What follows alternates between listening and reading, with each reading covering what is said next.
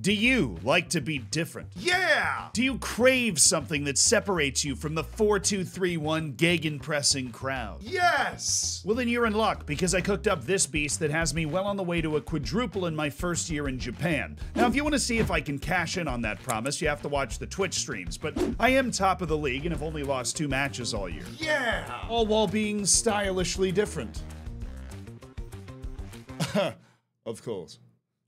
Thank you. By the end of this video, I can promise you you will be much more comfortable designing your own asymmetrical tactic or just using a modified version of this one. It'll separate you from the crowd. It'll make you feel cool. And you know what else does that? Manscaped's new release, the Lawnmower 5.0. I have it on very reliable authority. It changes lives. And that reliable authority is me. This bad boy is the Lawnmower 5.0 Ultra. It's pretty much a spaceship to take care of your space balls. And you can join the 9 million men worldwide that trust Manscaped by using the link in the description to get 20% off and free shipping. But why, Zealand? Why would we want to do that? Well, I'll tell you. You've heard me talk about the Lawnmower 4.0's skin safe blade on this channel. Well, the Lawnmower 5.0 Ultra has dual skin safe blades for twice the skin safeness. You of course have the standard trimmer blade to go for just your normal trim, or you can use the new foil blade to go for a skin tight, smooth finish. It's what I use to shave the microphone after every video.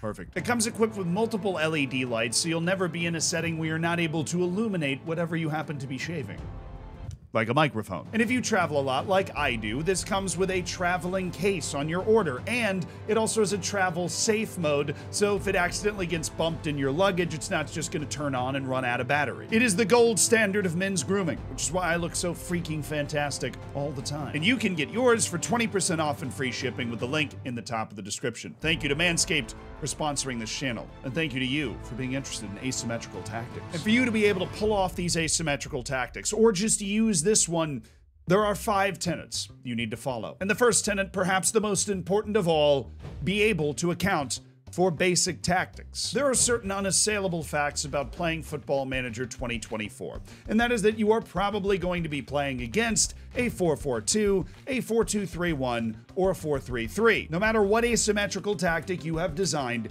you need to be able to accommodate defending those three tactics, which means defending two striker systems like a 4-4-2, defending systems that put a player in between your lines like a 4-2-3-1, and defending a system that really tries to isolate your wings in a 4-3-3. Now, if we turn our attention to the tactic I've designed, we accomplish this because we have a solid block of four in defense, although it's probably not who you're thinking of when you first look at it. You see, the new role in Football Manager 24 is the inverted wingback, which allows us to set up a pretty balanced block of four in the back, but it doesn't involve our left back. Nagato. You see, the two center backs and the inverted fullback make up a more centrally located back three when we are in possession of the ball. The left center back is going to take up the role of a wide center back on the left. The right center back is going to take up the role of a central center back. And the inverted fullback on the right is going to be the right center back when we're in possession. The defensive midfielder, a ball winner on defend in this case, is able to screen in front of that back line to disrupt hold up play, to lock up a potential number 10, and to keep the back line line from being so flat that if my midfield gets penetrated, we hate when that happens, then there isn't just a free run at our back line. Having that defensive midfielder on ball winner allows them to quickly close down any potential openings and also get wide to the wing if necessary because they're just chasing after the ball like a golden retriever. And the fact that the inverted fullback and the opposite center back from that inverted fullback both play like wide center backs mean we have a natural cover and a natural antidote to strong wing play that can typically come from a 4-3-3. And this block of four only needs to be able to hold its assignments defensively for long enough for my formation to recover, in which point I'll have a back four again. Nagato will get back and my wingers will get involved in defense and my playmaker over there on the left is going to get involved in defending as well. But despite the fact that this tactic looks weird, everybody is in a decent starting position when we lose the ball to be able to cover everything and get everybody reset. Now, if you're wondering if you have to use a ball winner, you don't.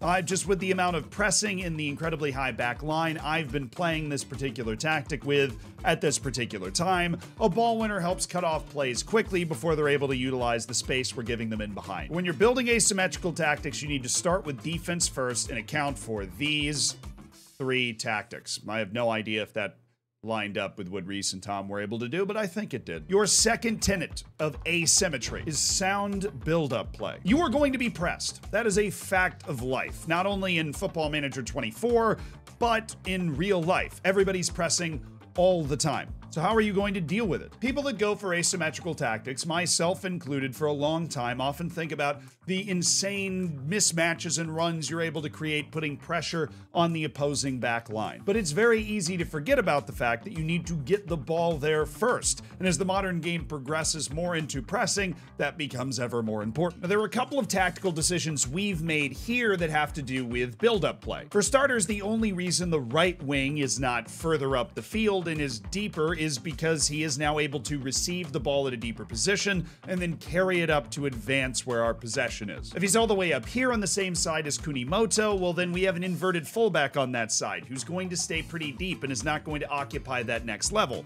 Where on the left side, Nagato is going to occupy that next level, so he is then available for a pass at a different level than before. In the midfield, we're already okay. We've got a deeper midfielder and a higher midfielder that provide two different depths that we can connect a pass to. That gives us three players in the back line as part of our buildup, and then another wall of four players that are available to receive a pass, which makes us, if we're able to pass well and make the right decisions, very, very, very difficult to press against. Your other option is, of course, to try and play over the top. This would require a target forward or a wide target man in very rare cases that you can direct your playing out to and then have them knock the ball down to other players who should ideally be in close proximity to them. If it's a wide target forward, then you want somebody like a wingback or a mezzala. If it's more central target forward, uh, number 10 or a second strike partner is basically a necessity. Whatever you do, this is especially important to think about in FM24 because turnovers can lead to huge, disastrous problems going the other direction because it feels like players don't quite turn on a dime when they're getting back anymore. Tenet number three, then this is the fun one when it comes to asymmetry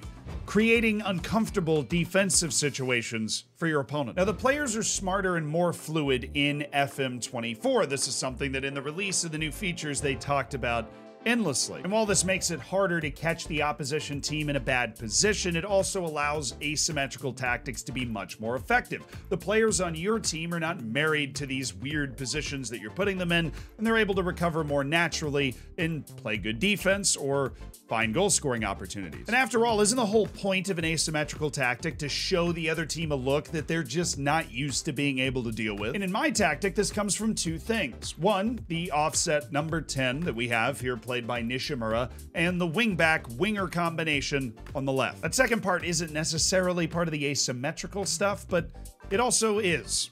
Give me a second. But first, the number 10. And the offset helps create an overload on the right side and forces the center backs to make really tough decisions. A contributing factor to this is that we have a forward that is playing either as a deep lying forward, false nine, complete forward, whatever, somebody that's going to receive the ball and look to hold up play. Anderson Lopes is very strong and decent technically, so he receives the ball and either holds it or faces up against the defense. This draws the attention of the center back, and if the wrong one happens to look over for too long, they're screwed. Medina's on the near side of the field. His job, once we are in possession, is to go screaming forward because he's a winger on attack. And now that Anderson Lopes holding the ball up has drawn the eyes of Shimakawa, the left center back on the other team, we have a two for one overload on this side of the field. The number 10 keeps streaking forward, gets the ball, Medina's wide open, gives Medina the ball, goal. And once that left center back has lost focus on defending the left side of the field, it's over. As long as we put our passes together, we should be able to score. And obviously, if the left center back decides to stay with the number 10, well, then Anderson Lopes is right in the middle of the field. If he angles a run behind that left center back, he can get into an acre of space. The wingback and winger on the left side in FM23 would have been basically ineffectual. They would have been running into each other and it just wouldn't have worked. In FM24, it's a completely different story. Not only is my advanced winger under the player instruction to cut inside once he receives the ball, opening up space for the wingback, if the winger doesn't receive the ball and stays holding in the wide area, the wingback will notice there's somebody already in that area, but since they're still dedicated to getting up the field, they'll naturally underlap. Here's the triangle. There's the advanced playmaker, there's my winger, and there is my wingback. Now watch where the wingback goes. The center back is still too narrow, paying attention to what the playmaker is doing, while my wingback is taking off into that vacant space, and because they're playing too high of a line, he's just in on goal immediately. That doesn't really have to do with the asymmetry of the tactic.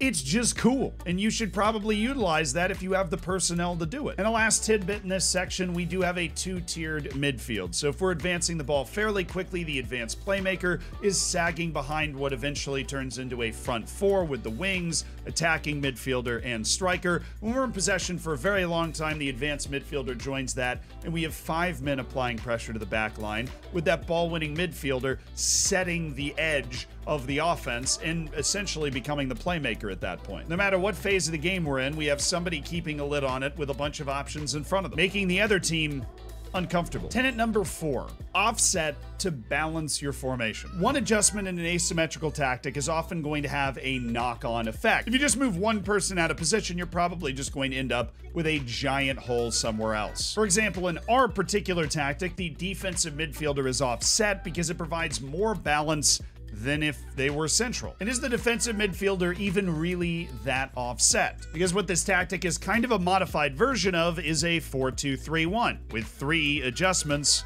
we're there. And so what we've essentially created is a particularly dramatic midfield pairing of two. But we've dropped the defensive midfielder or offset the defensive midfielder from a normal spot in the center of defensive midfield because it allows everybody a little bit more room to play. It doesn't compromise us defensively. If there is a midfielder in this spot, they have four different people around them that can react to them depending on what direction they want to go. Particularly a ball winner here will step forward to contest somebody that's sitting in this area. But because this player is dropped, the attacking midfielder has more room to drop in to receive the ball. And in possession, the ball winning midfielder still has plenty of room to step forward and try and make a play. Obviously, they won't go all the way into the box, but as we've covered at times, the ball winning midfielder in this tactic will be the playmaker, particularly on that right side of the field. This is a congested mess. This just doesn't cover the field well enough and leaves a bit of an open channel. That provides more decent coverage of the entire field, particularly the fact that in FM24,